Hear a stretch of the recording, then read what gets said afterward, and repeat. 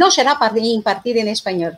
Es solo para que te acostumbres al oído a escuchar a esta língua que é maravilhosa, de acordo? Bom, meu nome é Denise Pereira, eu estou coordenadora da área de espanhol e a gente vai ter hoje o nosso primeiro encontro ah, nas atividades chamadas de atividades complementares, que vão acontecer aos sábados. A cada sábado vocês vão encontrar com um monitor ou com um coordenador diferente que vai falar um pouquinho para vocês de algum assunto que é top, que vai ajudar muito na hora da prova do Enem. E hoje me coube a tarefa de falar para vocês a respeito de textos multimodais. Por que, que a gente vai falar sobre textos multimodais? Por quê? Porque a gente está encontrando na prova foi-se o tempo em que você encontrar uma prova onde estaria somente um texto que seria um texto jornalístico, ou quem sabe uma carta, ou ainda, quem sabe, um e-mail. A gente vai ter uma diversidade muito grande. Eu fiz uma pesquisa, inclusive, com relação às provas do Enem, e eu consegui constatar e confirmar que a imagem ela está cada vez mais presente. Aliás, a imagem está cada vez mais presente na vida de todos nós. A gente tem imagem do primeiro momento que a gente acorda, até mesmo na hora que a gente está dormindo. É, é, Lúcia Santaella, ela costuma dizer que até nos sonhos a imagem está presente.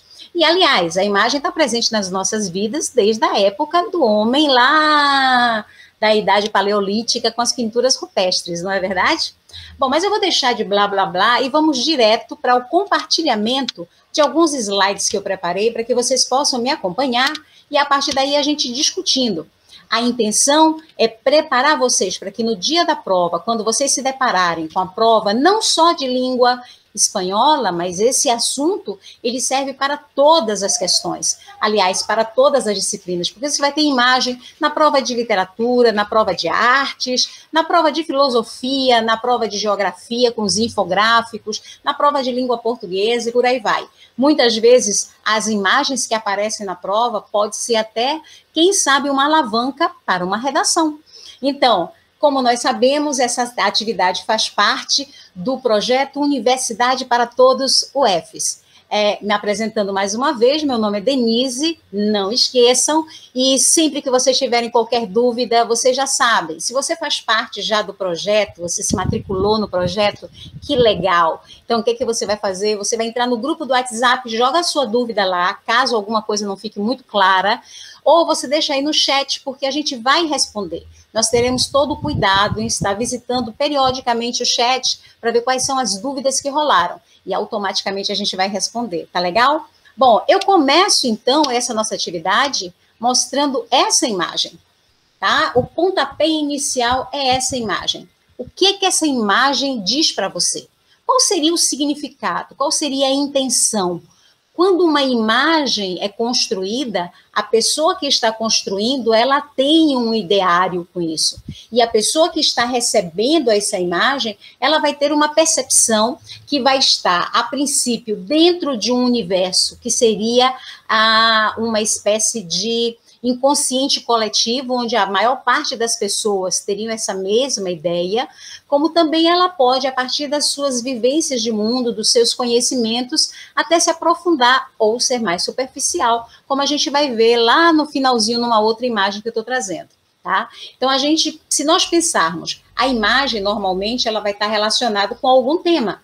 O cara que fez, que criou essa imagem, ele tinha lá um objetivo. No caso desse aí, fica muito claro que o objetivo é falar a respeito de um assunto que está tão atual, que é a questão da violência contra a mulher.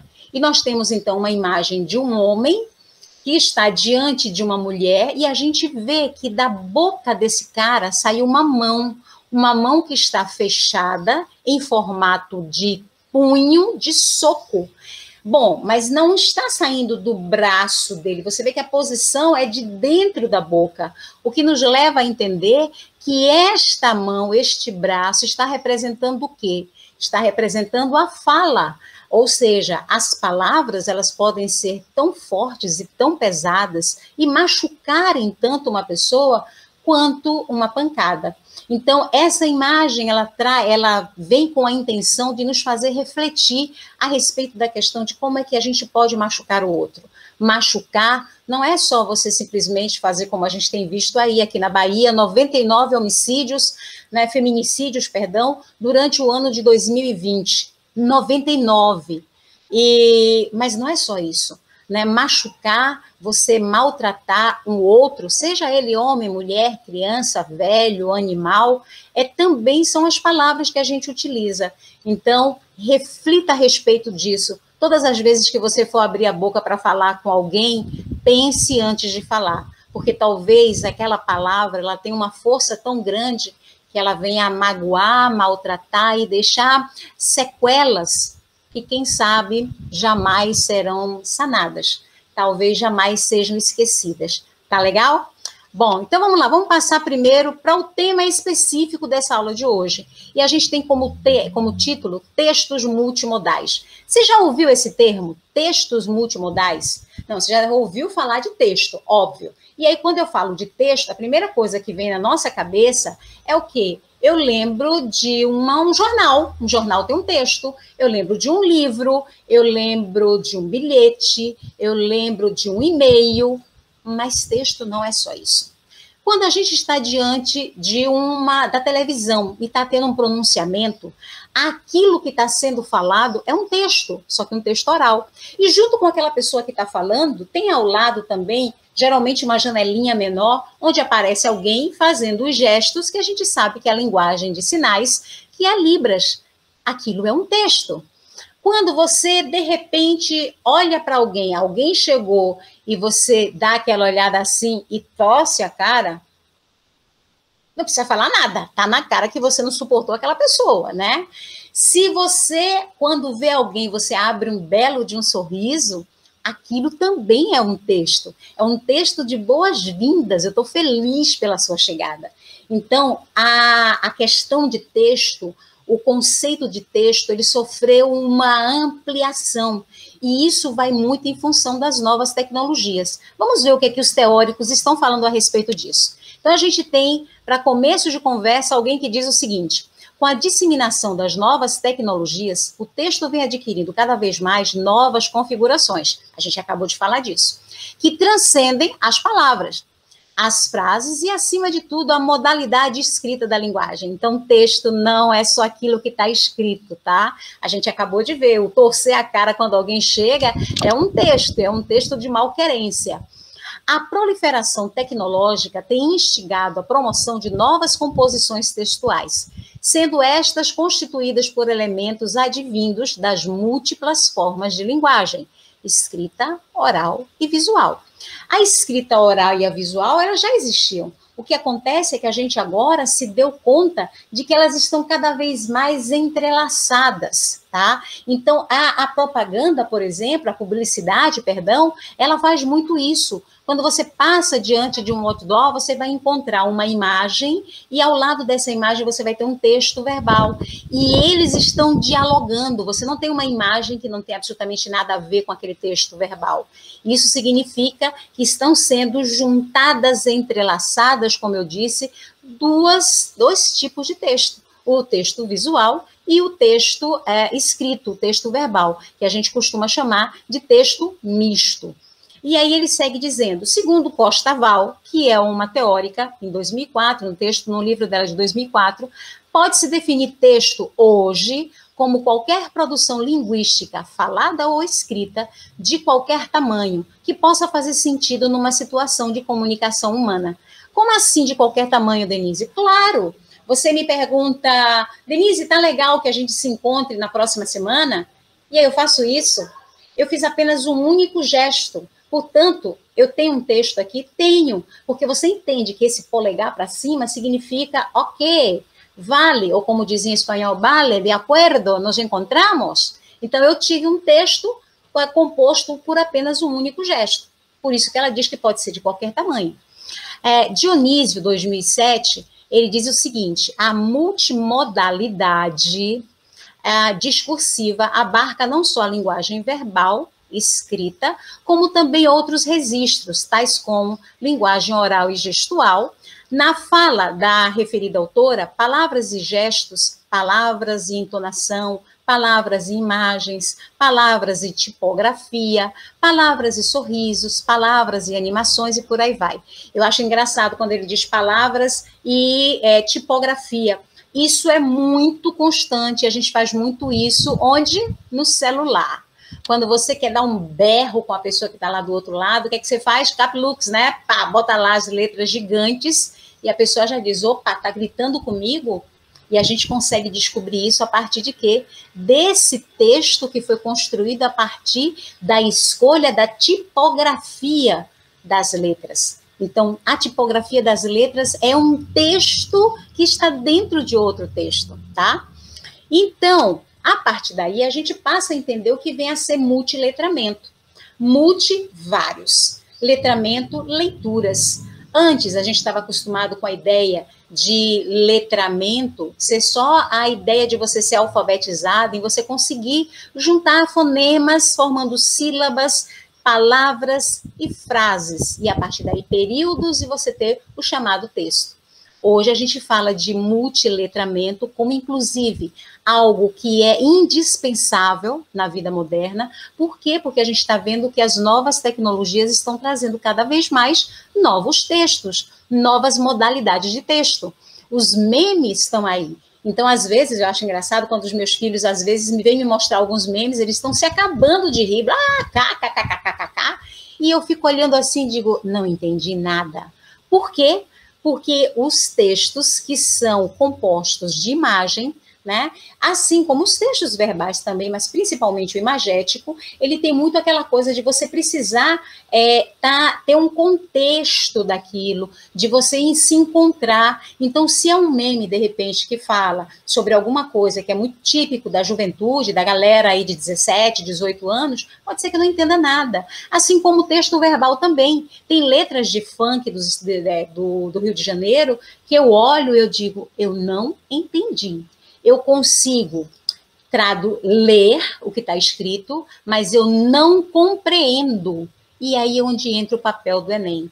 O Enem quer que você, mesmo não sendo falante da língua estrangeira, tenha a capacidade de estar diante de um texto, que poderá ser um texto apenas é, escrito, tá? Um texto verbal escrito, como também pode ser um texto em que apareça a linguagem escrita e a linguagem imagética. E ele quer que você demonstre que mesmo sem ser um falante nativo ou um falante avançado do idioma estrangeiro, particularmente no nosso caso do espanhol, e você consegue ler. Aí você vai me dizer assim: Pô, Denise, mas eu nunca vi espanhol na escola. Como é que eu vou dar conta disso? Cara, a primeira coisa que você tem que pensar é o seguinte: Primeiro é que o espanhol tem origem no latim, assim como o português. Então a gente tem duas línguas que são chamadas de línguas irmãs, primas, aquelas primas muito próximas. Mas cuidado, pensa aí a sua melhor amiga ela é tanto amiga que vocês se vestem muito parecidas, vocês falam as coisas muito parecidas, gostos, vão para festas muito juntas. Só que você é tão amiga dela que você é incapaz de imaginar que um dia ela possa querer roubar teu namorado. Aí é que está o perigo, né? Por quê? Porque se fosse uma outrazinha, você poderia ficar de olho, ah, tá de olho no meu namorado, hein? Tô sacando tudo. Mas se ela é sua amiga, você não vai se dar conta disso. E aí, quando você menos espera, já foi teu namorado, ó, já deu adeus. É o que pode acontecer com os textos em língua espanhola. É tão parecido com o português que muitas vezes o estudante começa a acreditar que ele não tem que estudar espanhol. Ele vai pensar, ah, espanhol é igual português, então eu já sei tudo. Eu já escutei tanta gente dizer assim, eu hablo espanhol, pero que sí, pero que no. Não disse nada, velho. Eu já escutei gente também dizendo assim: ah, me gusta muito cueca-cuela. Por que, que fala cueca-cuela? Porque se acostuma com a ideia de que no espanhol tem muita ditongação, e aí sai ditongando tudo, mas não é tudo, não, velho. Coca-Cola é uma marca internacional, não tem cueca-cuela, não, é Coca-Cola. Só que a gente vai falar com o fechado, Coca-Cola, tá? Bom, então o que acontece? Quando eu tô com essa ideia de que o texto em espanhol é igual ao do português, eu não vou dar conta daquela amiga que eu tenho juro de pé junto, que é uma amiga irmã, que é incapaz de me fazer qualquer coisa, eu nem vou perceber que ela está dando em cima do meu namorado. Então, é a mesma coisa com o texto. Você se acostuma que o texto é tão igual que de repente aparecem os chamados falsos cognatos. também chamados de falsos amigos, essa amiga que roubou teu namorado, ou então heterossemânticos, hetero diferente, semântico significado. Então, toda vez que você estiver diante de um texto em espanhol, vá caminhando, igualzinho a tua amiga, tá? Essa amiga que está aí do seu lado, sua vizinha, que você acha que é a sua grande amiga, confie, mas não confia tudo, não. Aquilo que você fez, que tua mãe pode te colocar para fora de casa, não conta para ela, não, que ela pode chegar lá, dar com a língua nos dentes e se ferrar. Então, você confia desconfiando. É o que acontece com esse texto. Mas e, então isso quer dizer que eu não vou conseguir ler o texto em espanhol? Vai sim. Por quê? Porque a gente tem 80% do texto que tem a mesma forma, as palavras, se não são iguaizinhas, elas são muito parecidas com o português. Então dá para você entender. 15% são palavras que são falsos cognatos. E 5% são gírias, são expressões que foram criadas depois. Cara, na língua portuguesa acontece isso de você se de repente se deparar com palavras que você não sabe o significado. E nem por isso você para de ler o texto. E se eu perguntar o que que você faz e você me responder, ah, Denise, eu vou para o dicionário, eu sei que você não está falando a verdade, porque você está lá no ponto central, esperando o buzu, tá lendo lá um texto da carta capital e apareceu uma palavra que você não sabe o significado, você vai pegar, fechar a revista, botar debaixo do braço, esperar chegar em casa para procurar um dicionário, para procurar a palavra para continuar lendo o texto? Não. Você vai simplesmente contextualizar. Você vai pular aquela palavra, vai continuar lendo, né? E essa palavra deixa para lá, talvez ela nem seja tão importante assim. E o que eu quero é saber o sentido geral. É isso que ele quer. Mas, além disso, tem um outro ponto que é crucial, que inclusive é a habilidade número 8 que o Enem joga para a língua estrangeira, que é você demonstrar que você tem conhecimento dos aspectos culturais dos países daquele idioma que você, você escolheu para ser o idioma que você vai fazer a sua prova de língua estrangeira. No caso do espanhol, a gente tem 21 países, é o país pra caramba, são quatro continentes que tem países falando espanhol.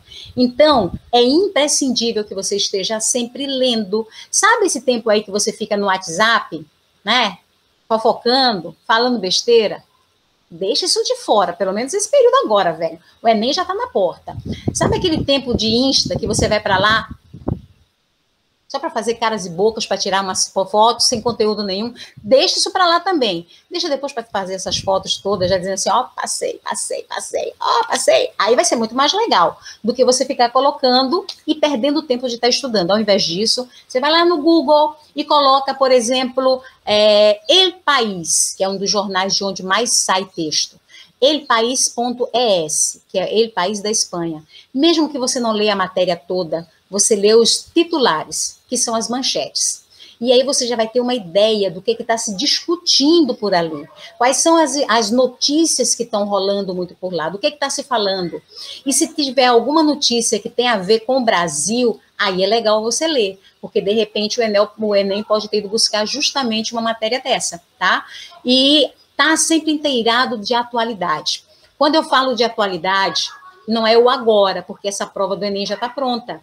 Então, você vai estar, na verdade, procurando se informar o que é que era notícia, o que estava no auge, no período lá de maio, aproximadamente, porque o Enem seria em novembro, então eles começam a construir aproximadamente entre abril e maio. O que estava acontecendo nesse período até agosto, setembro?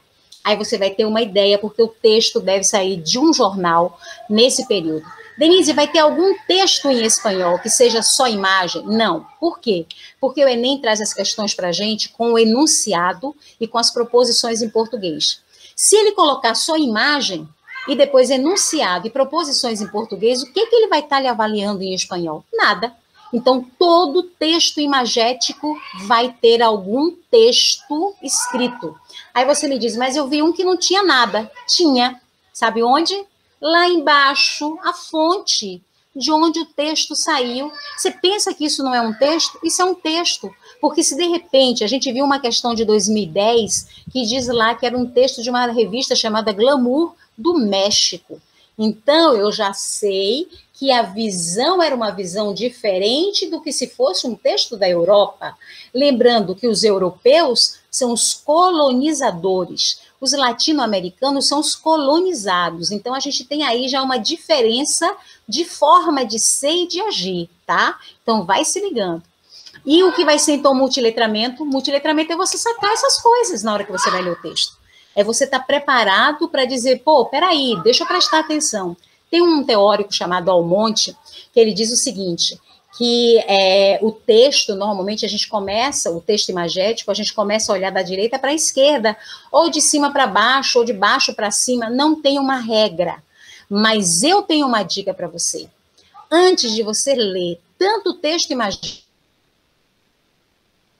dê uma olhada no enunciado da questão, porque o enunciado da questão vai lhe dar pistas. Ele vai dizer, segundo o autor, de acordo com o autor, ou, a partir do texto, você pode deduzir, ele nem usa muito a palavra deduzir, ele usa a palavra inferir. E se a palavra que aparece é inferir, significa que aquilo não vai estar no texto ipsiliter.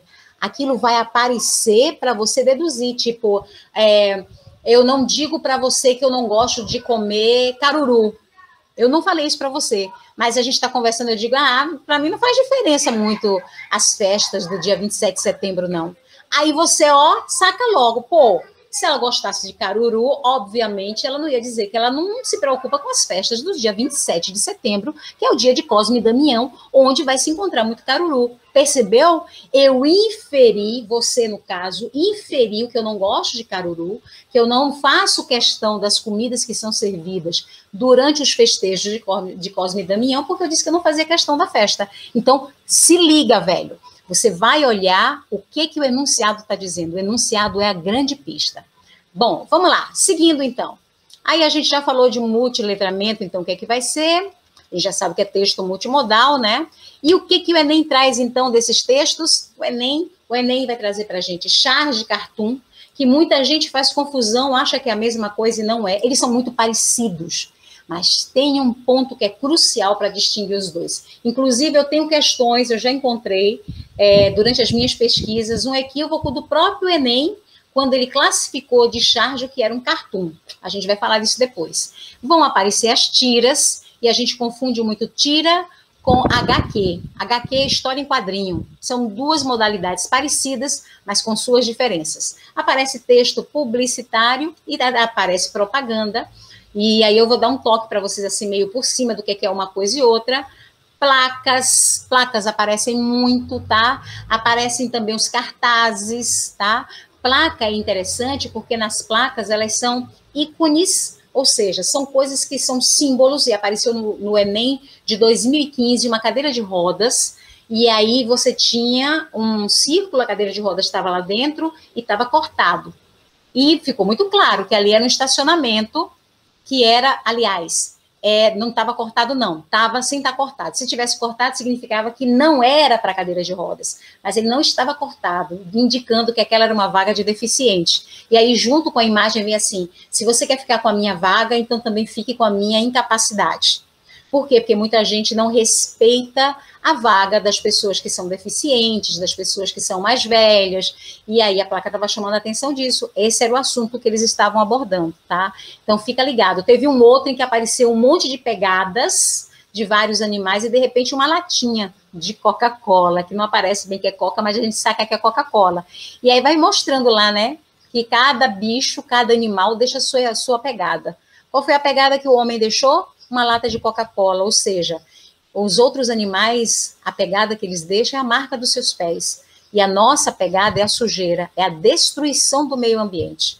Legal? Depois a gente vai ter fotografia, é outra coisa que rola. Só que placa e fotografia a gente não vai, assim como publicidade e propaganda, a gente não vai se aprofundar hoje. Hoje a gente vai falar sobre charge, cartoon e tira. Valeu? Bom, espero que esteja dando para acompanhar, tá? Às vezes eu acelero, é porque eu sou muito elétrica, mas eu espero que esteja dando para entender. Caso não dê, se tiver rolando dúvida, velho, não esquenta a cabeça. Vai no chat aí, ó, papapá, Denise, não entendi, você falou rápido demais. Ou coloca no chat, ou então você deixa lá no WhatsApp, mas se for no chat é melhor ainda, porque eu vou responder sua, sua pergunta. Não só eu, como os monitores de espanhol, a gente tem três monitores que são pessoas, assim, bem legais, e eles vão responder com a maior é, boa vontade a dúvida que rolar, tá? Então, a gente tem características do charge do cartoon. Então, vejam bem, a gente tem uma tabela que, se você observar direitinho, eles vão estar dizendo praticamente a mesma coisa. Ó, charge, gênero jornalístico. Cartoon, gênero jornalístico. igual. Depois, gênero textual, constituído de linguagem verbal e imagética. Lá no outro, no cartoon, gênero textual constituído de linguagem verbal e imagética. Não mudou nada até agora. Possui caráter cômico, satírico e irônico. O outro possui caráter cômico, satírico e irônico, igualzinho. Depois, retrata acontecimentos contemporâneos. Acontecimentos atemporais. Lembram o que significa o a? O a, quando vem diante de uma palavrinha, ele está negando. Então, quando eu digo atemporal, eu estou dizendo que ele não é algo que está fixado num determinado momento. Então, por exemplo, quando a gente pega a, uma, um elemento, uma imagem que tem a ver com a morte de Maradona, é muito específico. No, na época que teve aquele lance dos patos lá em São Paulo, lembra que o pessoal da Fiesp estava colocando lá em frente ao MAP, que eles colocaram aqueles é, patos gigantescos e tal? Aquilo tinha muito a ver com aquele momento. Eu vi um meme na internet que eu achei muito interessante, que era uh, um cara que dizia assim, no fundo a gente percebia que era um dos palácios do, do governo, que era Brasília, dava para reconhecer que era Brasília, tinha um cara de paletó e gravata, e um outro conversando com eles assim, então, e como é que eu posso te pagar ele? Um quilo de feijão tá, tá de bom tamanho, já está um bom preço. Estava falando de corrupção, né? Mas por que, que ele falou que um quilo de feijão? Porque foi justamente naquela época que a gente teve, há alguns meses atrás, parece que já fazem anos, mas não faz tanto tempo assim, que a gente teve um aumento gigantesco, mais um, né? Aumento gigantesco do feijão. Lembram que a gente teve aumento gigantesco de feijão, de cebola, de tomate, o último agora que todo mundo estava comentando, está se falando é do arroz. Hoje eu já estava vendo, estão falando também da abóbora, que lá em é, Petrolina, eles mandam para Juazeiro e outras cidades ali do, do entorno de Juazeiro, eles mandam para lá e estão mandando as abóboras com um preço muito caro. Então o pessoal está começando a substituir, como aqui está se substituindo o arroz pelo macarrão, enfim. Mas a gente tinha um momento específico uma pessoa que não tenha vivido essa situação do aumento do feijão vai olhar para aquilo ali e vai dizer: não entendi nada, por que, que o cara estava querendo receber propina com um quilo de feijão? Sacou? Isso, então, é uma charge, porque ela está relacionada a um tempo. Agora, quando eu vou falar de questões sociais, eu vou falar como tem uma tira de uma falda, onde o pai dela está indo, voltando do trabalho, e ele vem num ônibus apertadão, ele se segurando, ele chega em casa com a cara acabada, os olhos todo quebrado, e ela diz assim: mandamos todos os dias de manhã para essa maldita oficina, a oficina é escritório em espanhol, um pai, e olha o que eles nos devolvem. O pai dela está tremendo assim todo, claro. Isso é social está completamente atual. Quando o Quino desenhou isso, foi na década de 70 e até hoje a gente continua vendo a mesma coisa, né? Hoje em Salvador está pior ainda, porque quem anda de ônibus não tem só a questão do estar apertado, de não ter onde sentar, de ter, se estiver chovendo, é, aqui em Feira de Santana, chovendo, você no ônibus, todo mundo com as janelas fechadas, um desodorante que já venceu. Imagine que sufoco que é Hoje ainda tem o agravante, todo mundo com medo de coronavírus, e Salvador ainda tem mais, velho. Ainda tem o um medo dos assaltantes que estão assaltando a doidade os ônibus. Então a gente está vendo que essa tira de Quino faz uma crítica social e ela é completamente atemporal. Ela não caiu de moda. É, quem na década de 70 viu essa tira, quando ele desenhou, entendeu a mensagem, e nós hoje, em pleno século XXI, entendemos a mesma mensagem. Isso é a temporalidade, que é a diferença entre charge e cartoon. Depois a gente vai ter a retrata acontecimentos contemporâneos, falamos a retratação do exagero, associação de linguagem verbal ao desenho expressivo, pode representar um posicionamento editorial, no caso da charge, é, entrelaça palavras, imagens e sentidos, é, narrativas efêmeras, retrata notícias e assuntos atuais, narrativas também breves, mas não atreladas a temas da atualidade. Ou seja, o mais importante de tudo para a gente reconhecer e diferenciar uma charge de um cartoon é ver se ele está preso a um momento do tempo ou se uma outra pessoa daqui a 10 anos vai ver aquilo ali e vai continuar entendendo, tá? As charges, eu acho que elas são mais difíceis, porque normalmente a charge é editorial de alguma revista ou de algum jornal daquele local onde ela foi construída. Então, eu preciso conhecer essa história. A gente vai ver daqui a pouco uma de Maradona. Aliás, você deve ter visto rolou muito no Instagram, uma que tinha Deus, e aí tinha uma plaquinha assim, bem-vindo, e aí Maradona chegando lá no céu, Deus estava cotó, estava sem a mão, e Maradona estava lá entregando uma mãozinha para ele. Um brasileiro que seja, não esteja muito ligado a lance de futebol e tudo mais, mas eu não entendi nada, porque que Deus ficou sem mão, Maradona foi dar uma mão a Deus. Ô, velho, tô por fora. Mas quem sabe que aconteceu antes da Copa de 1982, houve a Guerra das Malvinas, e aí entra a questão da interdisciplinaridade. O que eu estudei em história, o que eu estudei em geografia, me ajuda a entender o texto também. Então, eu estudei a questão das Ilhas Malvinas, que são ilhas que pertencem aos, aos argentinos, pertenciam, e os ingleses diziam: não, é nosso. E aí eles vieram de lá para cá e brigaram contra os argentinos e ganharam. Então, eles levaram as Ilhas Malvinas. Hoje elas, elas são uma possessão inglesa, tá? E os argentinos ficaram putos da vida com aquilo. Então, o que aconteceu? Logo em 82 acontece a Copa do Mundo e Maradona, na cara do, do árbitro, faz um gol de mão. Era a disputa final contra a Inglaterra. E o, o árbitro simplesmente não viu o gol de mão. E aí eles começaram a dizer que aquilo ali, o árbitro não viu porque foi a mão de Deus. Era a mão da vingança, já que os ingleses tinham roubado as Ilhas Malvinas, Deus achou por bem, achou que era justo dar uma mãozinha para os argentinos. Claro que Maradona no final do jogo faz mais um, tá? Então eles ganharam não só por causa da mãozinha, mas essa história virou e era por isso que inclusive era chamado Maradona de a mão de Deus. É, Diez era o número dele e chamavam ele de Deus, ou la mano de Deus. Tá? Então vejam que se eu não conheço o contexto histórico, se eu não conheço questões que são próprias da cultura daquele lugar, eu posso não entender aquela charge, porque ela é muito específica, porque ela é muito atual, tá? Então vamos lá, seguindo. Depois disso, o que, que a gente vai ter? Aí a gente, ah, eu trago como exemplo uma questão de uma prova do Enem, salvo engano, esse foi o Enem de 2013, tá? E aí, como é que a gente vai trabalhar análise imagética? Denise, para que, que você falou de texto multimodal, de multiletramento? Isso vai me servir como na minha prova? Fácil tem o texto, que foi que eu disse para você, antes de olhar para o texto, dá uma olhada lá, o que, que ele está dizendo no enunciado. O enunciado diz: a charge evoca uma situação, não é charge, vamos ver se é charge mesmo. A charge evoca uma situação de disputa. Seu efeito humorístico reside nu. Então, eu vou procurar, dentro dessa imagem, dentro do que está constituindo esse texto, que é misto, porque tem texto verbal e texto imagético, o que é que é uma piada nessa história, o que é que me leva a achar engraçado.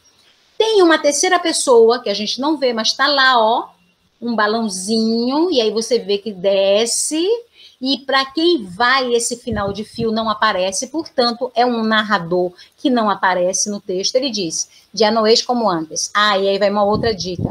Não lê o texto em espanhol, não, para você não perder tempo, tá? Já vai traduzindo o texto em português. Então, ao invés de você dizer, já não é como antes, já não é como antes. Não, já vai logo, já não é como antes. Por quê? Porque espanhol vai ser, vai ser uma prova feita com outras provas que demandam muito tempo. Então, tudo que eu puder fazer para otimizar o meu tempo, isso é muito bom. Então, já não é como antes. Beleza. Lo reto a um duelo, né? Aí ele, o reto a um duelo, não entendi nada, Denise. Tudo bem, mas duelo eu entendi. Duelo, eu entendi que era um duelo.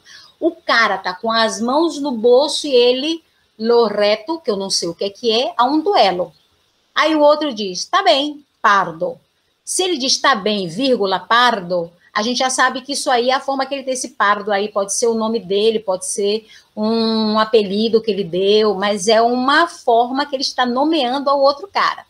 Mas eu com o joystick e você com as teclas. Os T é senhor, senhora, mas aí ele está utilizando com o sentido de você.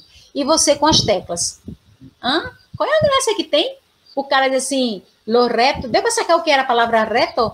O outro diz, está bem pardo, mas eu com o joystick, você com as teclas. Ah, você sacou, né? Exatamente. O desafio a um duelo. Porque duelo, qual é a palavra que puxa duelo? Se eu vou duelar, olha, eu quero duelar com você. O que foi que eu fiz? Eu desafiei a isso, que foi o que o cara fez. Eu não estou vendo graça nenhuma nisso. Por quê? Porque eu não analisei a imagem. Então vamos analisar a imagem para a gente descobrir onde é que está o humor dessa história. Quem são as duas pessoas? Se eu tivesse dois jovens aí, dois garotões, eu ia dizer, não tem graça nenhuma. Eles estão dizendo que um vai usar o joystick, o outro vai utilizar o teclado. Tá, beleza, sem problema. Mas aí eu percebo que eu tenho dois homens. Esses dois homens estão levando um chapéu estilo Panamá. Eles usam um bigodinho, têm uma, um lenço no pescoço, estão de paletó, estão muito bem vestidos, com sapato, bico fino. Isso lembra alguém a vocês? Faz um esforço aí. Hã? Lembra? Alguém conseguiu lembrar do que aconteceu nos Estados Unidos na década de 40 a 50, a famosa lei seca? O que foi a lei seca? Foi uma proibição da venda de, é, de bebidas alcoólicas. Né? E por que, que eles proibiram? Porque os italianos começaram a ir para os Estados Unidos para vender a bebida. E era uma contravenção, porque estava proibido e eles iam lá e vendiam. E quem fazia isso? Todo mundo já assistiu filme sabe quem eram os caras que faziam isso. A máfia. Então eu olho aí para a cara dos dois e eu claramente descubro que é a máfia. E fica tão claro isso que há uma situação de disputa e que parece que alguém está tentando matar o outro só que o problema é que mafioso ia matar o outro como? Ou com arma branca ou com revólver, nunca com joystick. Ah, Denise, saquei. Onde já se viu, quem poderia imaginar? Não dá para passar pela nossa cabeça, né? Dois mafiosos, imagine lá é, o, o chefe da, da máfia italiana é, chamando o outro, desafiando o outro através de um joystick. Bora, eu vou sentar aqui nessa poltrona e a gente vai jogar, é, sei lá, R qualquer coisa, acho que é RPG, né? Que é um dos jogos. E aí quem ganhar, ganhou o território. Claro que não. Né? Um ia puxar a faca ou ia dar logo um tiro no outro. Observem que aparece, inclusive, uma lâmpada. Então, eles não estão no, numa, num espaço que seja um espaço ao ar livre. Parece que eles estão dentro de um quarto ou de um ambiente fechado. Pelo menos me leva a crer isso, porque você tem uma lâmpada pendurada e essa lâmpada, inclusive, está acesa. Então, se fosse ao ar livre, como parece que está tudo muito claro, não tinha muito porquê. E aí eu lembro que os mafiosos faziam isso, né? Eles botavam o cara sentado na cadeira e aí vinha com aquela lâmpada só em cima do cara e começava tome-lhe porrada para que ele dissesse quem me traiu, pá, pá. Então, a ideia do humor está exatamente nisso. Que ao invés de estar tá acontecendo tudo isso que era o previsível, eles apelam para os meios das novas tecnologias e os, até os mafiosos se rendem às tiques. Então, o que, que ele está querendo que eu descubra o que é que foi engraçado? Então, a aceitação imediata da provocação. Ah, eu achei tão legal porque ele aceitou logo. Ah, isso foi tão engraçado. Ah, ah. Não. Depois, descaracterização do convite a um desafio. Ó, a palavra desafio que eu estava em dúvida, agora já sei que é. Descaracterização, mas descaracterizar que isso foi um desafio me faz rir. Eu não sei não, né? Vamos ver o que, é que diz as outras. Sugestão de armas não convencionais para um duelo. Claro! Por quê? Porque eu sei que num duelo as armas que eles vão utilizar, arma branca ou então uma arma de fogo. Portanto, o engraçado está aí. Imagine dois mafiosos lá. Eu estou tentando lembrar o cara da máfia, que era o, bandidão dos mais conhecidos. Esqueci o nome dele. Mas é, ele mandava matar todo mundo e mandava matar, não era com uma partida com um com joystick, né? Então, cara, já descobri que a resposta verdadeira é a letra C. Percebeu como a questão da, da compreensão da imagem e juntar a imagem com o texto verbal foi o responsável por essa compreensão, e aí eu não me bati. Depois vem deslocamento temporal do comentário lateral. Isso vai, dar, vai ser engraçado? É, posicionamento relaxado dos personagens. Ah, eu estou achando engraçado porque eles estão relaxados. Também não, né? É claro que foi a questão da quebra da convencionalidade das armas. Aí depois a gente traz aqui uma duas imagens, tá? São duas imagens em separado, mas eu gosto muito dessas duas imagens para a gente pensar a respeito. Oh, tá aqui falando ocultar, eu nem tinha visto. Duas imagens que faz a gente pensar muito a respeito dos, das metáforas que também aparecem nas imagens. Você lembra o que é metáfora? Metáfora é aquilo que você diz através de outra coisa. Então, uh, eu quero falar sobre ah, os olhos de ressaca de Capitu. Isso é uma metáfora para falar daquela dissimulação, daquele olhar dela. Então a gente vai ter aqui uma metáfora, tanto numa quanto na outra. Mas a gente vai conseguir ler isso porque tem determinados símbolos que já são ícones, ou seja, são coisas que já estão fixadas, que todo mundo, quando olha, já percebe. Por exemplo, tem um cara chamado Panofsky, tá? Foi o cara com o qual eu estudei. Não, eu não estudei com ele, não. Cara já morreu faz um tempinho. Mas eu estudei a teoria dele. E ele diz que para a gente analisar uma imagem, a gente tem que primeiro ver as coisas mais básicas, que é o tipo de cor, o tipo de traço, se tem perspectiva, é, quais são as cores que são utilizadas, os gestos. Então, tudo o que tem a ver com a linha, com o traço e com a cor. Depois a gente vai começar a fazer a relação daquela imagem que é construída, tá? Com alguma ação que seja rotineira. E por fim, a gente vai procurar na história o que, que aquilo pode representar. Então, eu tenho um nível pré-iconográfico, iconográfico e iconológico. Vocês não precisam se preocupar com isso, essa nomenclatura doida, deixa para lá. Isso não é para vocês agora não, tá? Depois, se tiver curiosidade, eu até posso falar, mas não é o lance nosso agora. O que eu quero agora é que você olhe para a primeira imagem, veja, vamos procurar símbolos. Primeira coisa que eu olho, o olhar de Mafalda. Ela está olhando diretamente para quê? O prato de sopa.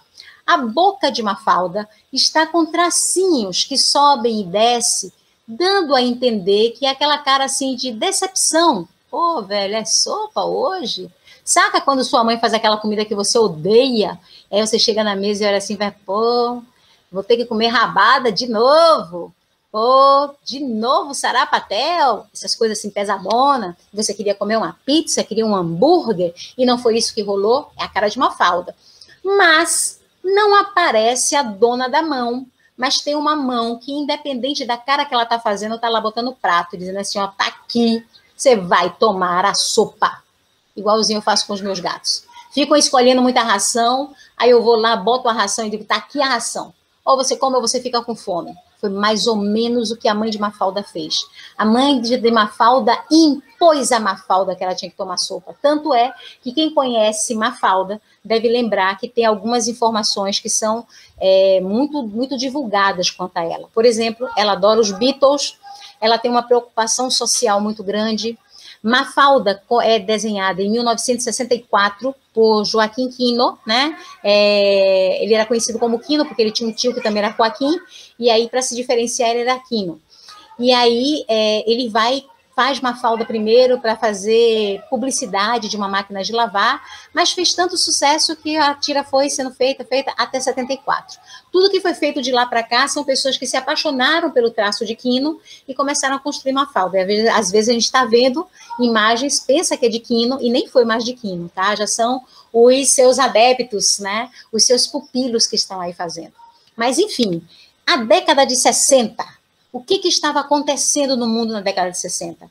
Eu já vi que tem uma imposição. Aí eu vou e viajo. Vamos viajar. Década de 60, 64, 70, 74, que é o período que Quino está desenhando, era o período que na América do Sul estava rolando o quê, galera? Aula de história. O que foi que você viu? Hã? Ditadura, velho. E o que, que a ditadura faz? A ditadura impõe. Eles dizem: Eu estou cuidando de você. É o que a mãe de Mafalda está fazendo. Ela não está dizendo, eu estou dando sopa porque eu quero sacanear você. Não, minha filha, eu sei o que eu estou fazendo, eu sei o que é melhor para você, tome a sopa.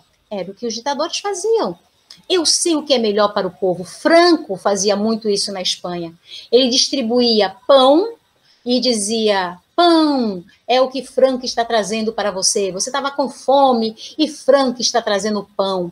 E aí ele se alia à Igreja Católica para dizer que ele trazia o pão da alma e o pão do, o pão do corpo e o pão do espírito. Mas isso a gente conversa um outro dia. Vamos voltar aqui para a América do Sul.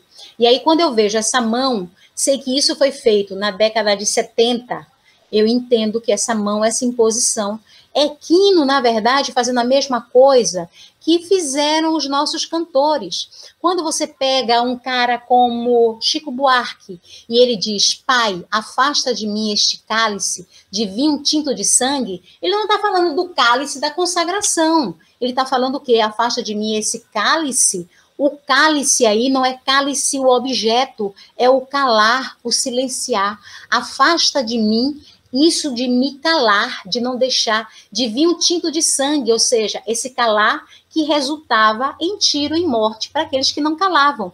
Percebeu? Eu fiz o quê? Eu abstraí a partir de conceitos da história. Então, foi a história que me deu suporte para eu entender que essa mão é uma mão que está impondo. Mafalda, na outra, está com os braços para cima. Quando a gente bota os braços para cima, com essa sobrancelha fechada, essa boca com o desenho para baixo, de raiva, de zanga, ela não está com cara de feliz, não. E ela está com os bracinhos para cima, ela está fazendo o quê? Ela está protestando. Exatamente isso. Quino desenha Mafalda como todo bom artista, se posiciona politicamente, mas ele sabe que o posicionamento dele poderia custar muito caro que aconteceu. Quantos e quantos artistas foram exilados, foram mortos sumiram até hoje. E na Argentina, então, você tem uma praça chamada Praça de Maio, onde até hoje tem mães e avós que ficam lá andando silenciosamente, esperando que deem notícias sobre os corpos dos filhos que sumiram.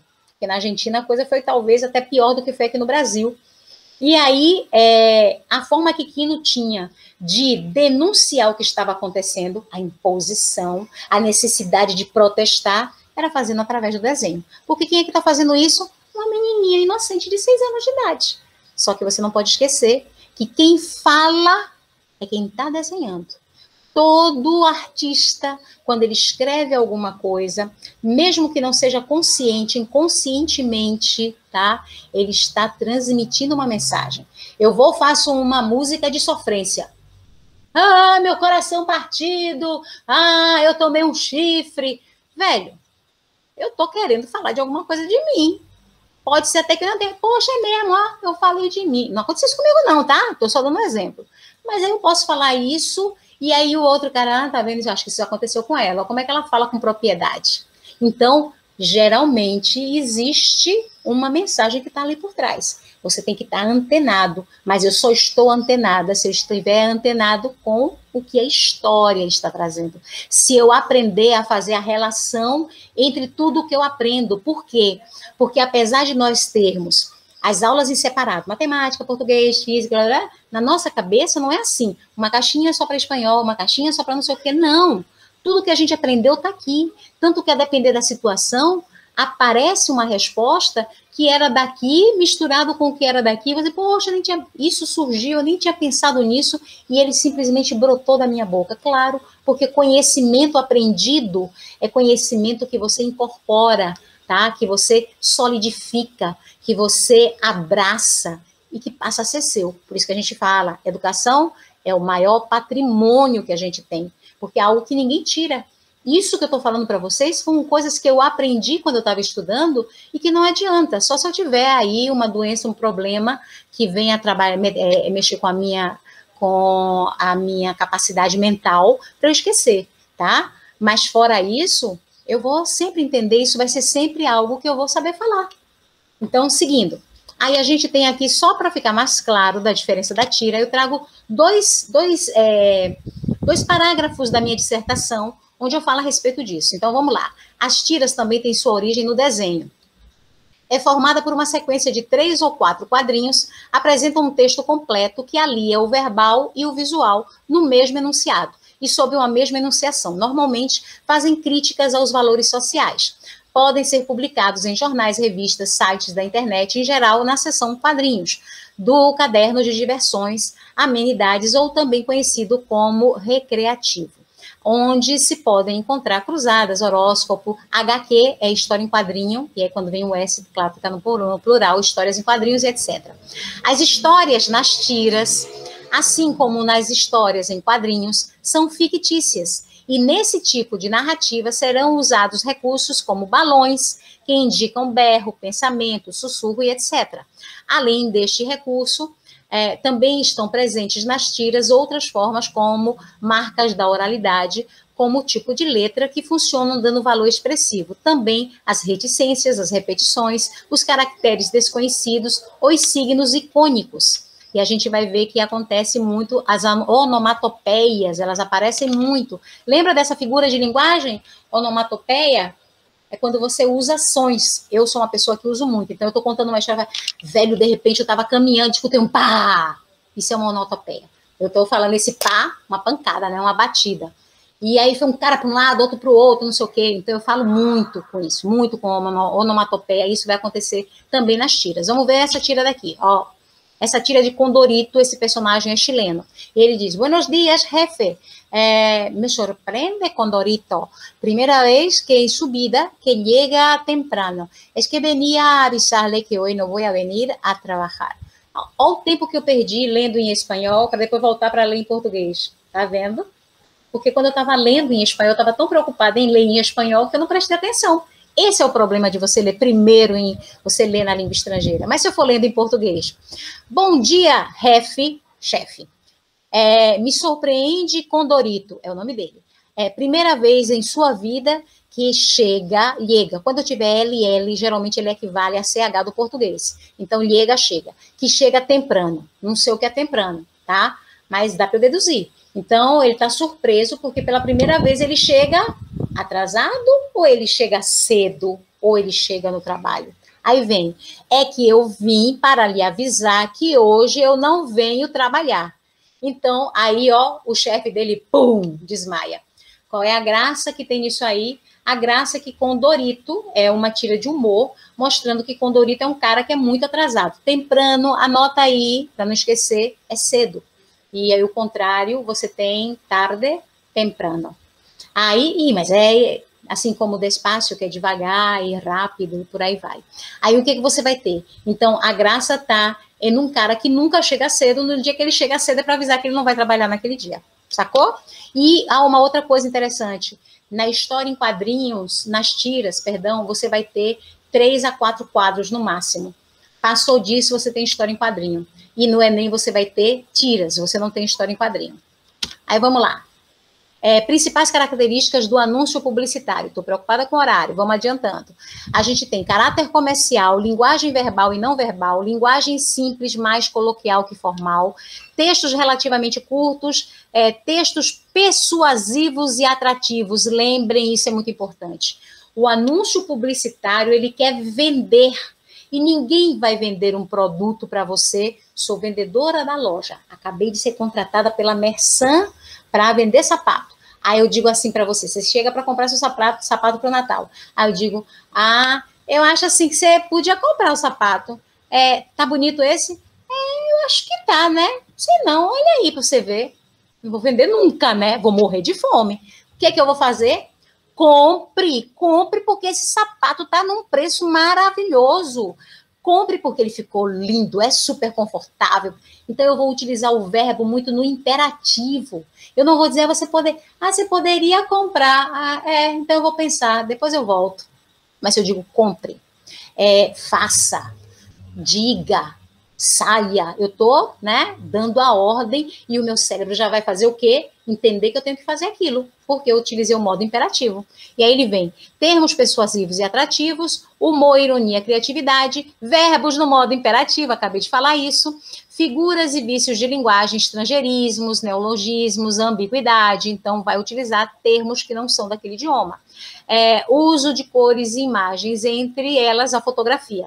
Normalmente a gente vê muita publicidade em fotografia, e eu queria fazer uma separação, tá? Uma diferença. Existe uma coisa que é publicidade e tem outra que é propaganda. Ambos têm a função de vender, só que a publicidade vende produtos enquanto que a propaganda vende ideias, ideologias, tá? Então, quando é, a gente vai ver daqui a pouco um exemplo, nem vou falar. Vamos ver logo aqui essa imagem do Enem, para você entender isso. Tem a imagem do sapato 2010, esse Enem. Vocês viram, né?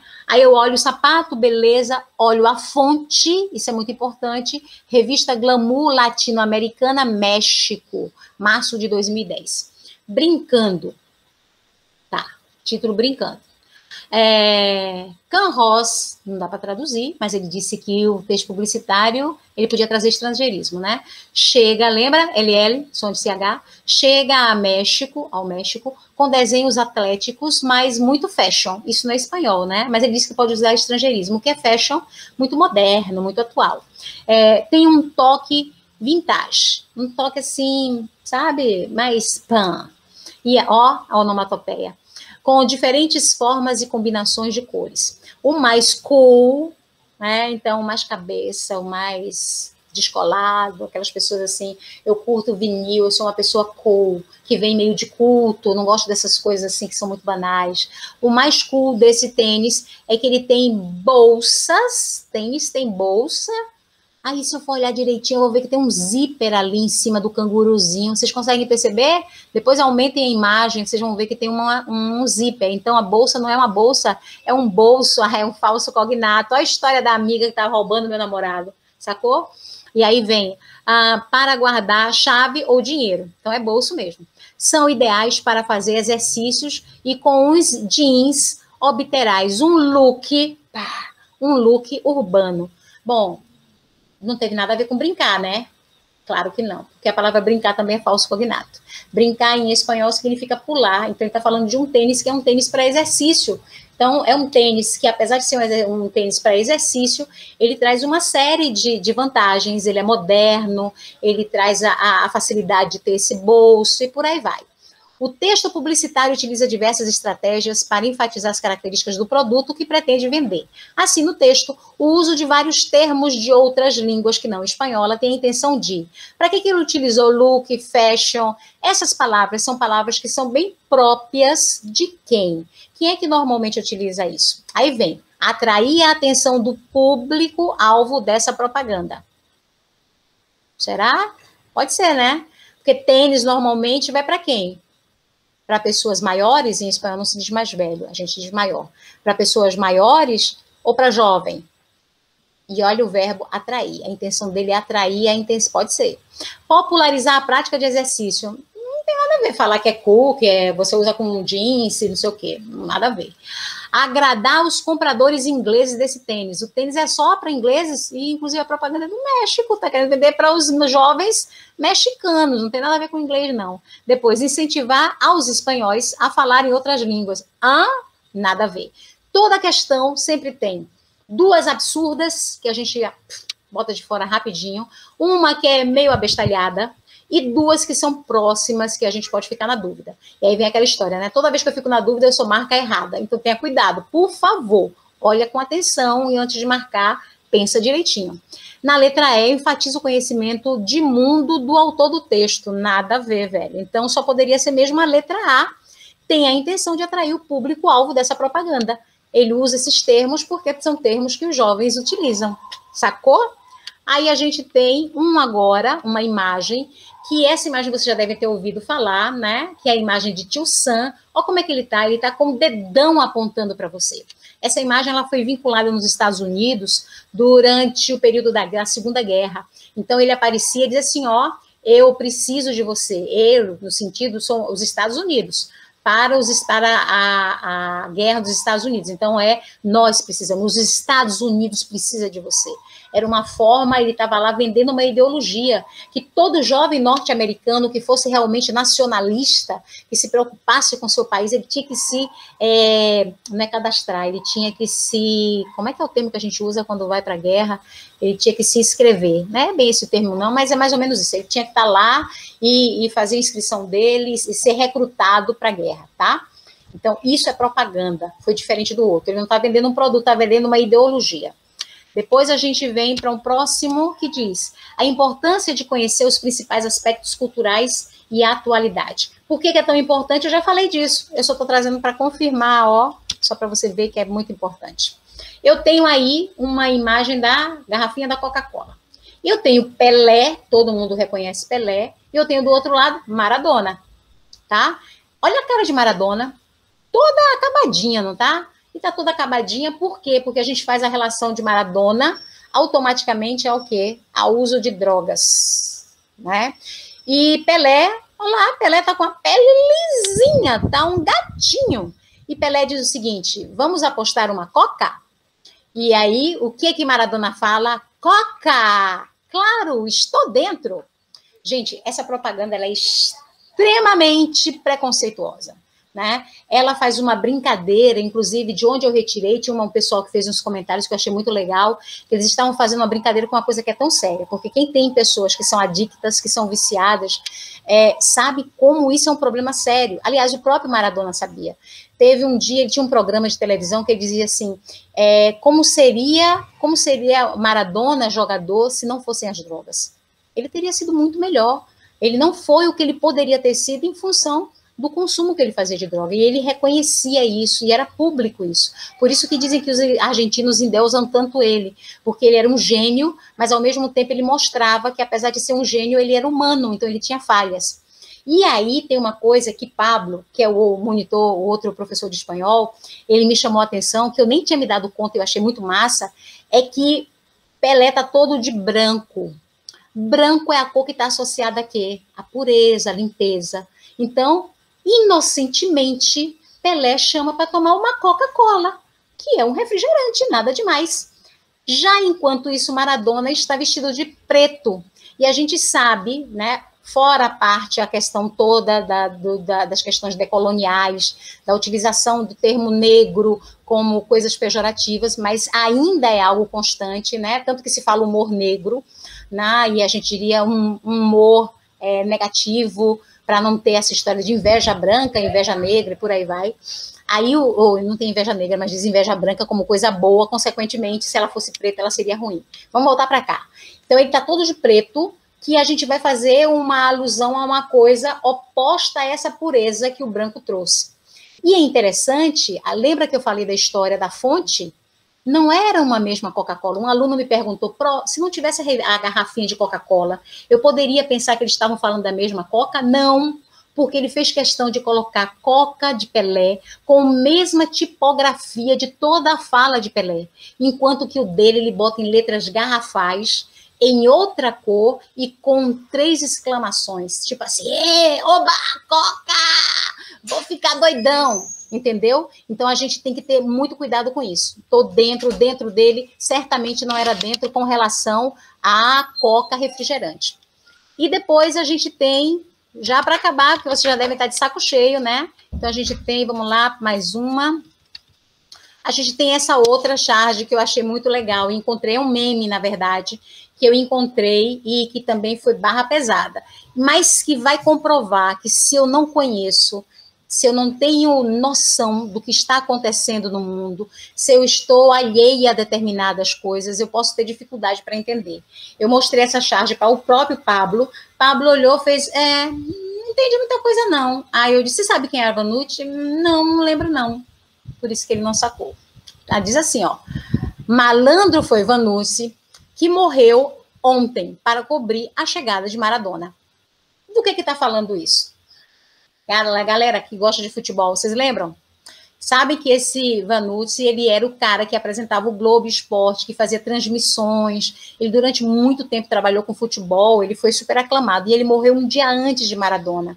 Então daí a gozação em dizer que do mesmo jeito que ele estava sempre entrevistando, né, querendo conseguir furo com os grandes jogadores, ele foi procurar um furo de reportagem, chegando no céu antes de Maradona e vejam que eles é, mostram Maradona né, com um aspecto né, gordo, de quem está acabadão por conta das drogas.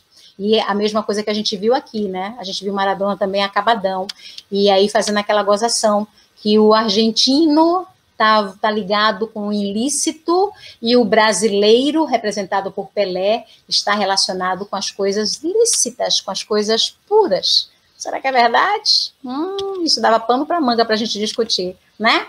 Bom, galera, com isso aí a gente termina esse nosso encontro de hoje. Eu espero que vocês tenham gostado, que tenha sido produtivo, que vocês tenham feito muitas anotações e que surjam milhões de dúvidas para a gente ter muita coisa para bater papo. Não esqueçam, Todos os sábados a gente vai ter sempre um aulão chamado Atividade Complementar. A cada semana vocês vão ter duas a três disciplinas. Quer dizer, acho que três só hoje, porque está tendo também de inglês. Normalmente são duas disciplinas. E os professores vão todos estar se esmerando, procurando trazer informações que são ó, pontuais para o Enem. O Enem está chegando e a gente aposta em você. A gente sabe que você é capaz. Você sabe disso, não sabe? Se você ainda não sabe, vai para frente do espelho e afirma, mas afirma com segurança: eu sou capaz, eu posso, eu consigo e eu estou na universidade. Muitos beijos. E aí, claro, para quem não sabe, eu sou fã de bruxinha e eu me despeço com a minha bruxinha. Besitos! Hasta la próxima! A gente fecha agora esse slide. Pã! Encerra aqui. E vamos lá terminar a nossa apresentação. Gostaram? Foi legal? Deu para aprender muita coisa? Beleza! Então, besitos outra vez e nos vemos